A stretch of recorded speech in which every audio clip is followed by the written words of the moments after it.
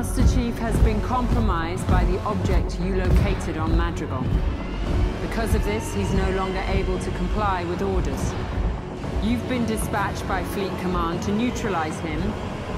I'm superseding those orders. Whatever he's experiencing, there are other available solutions.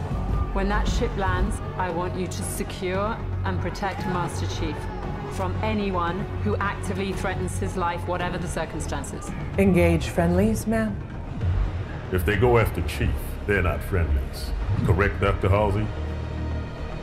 Correct.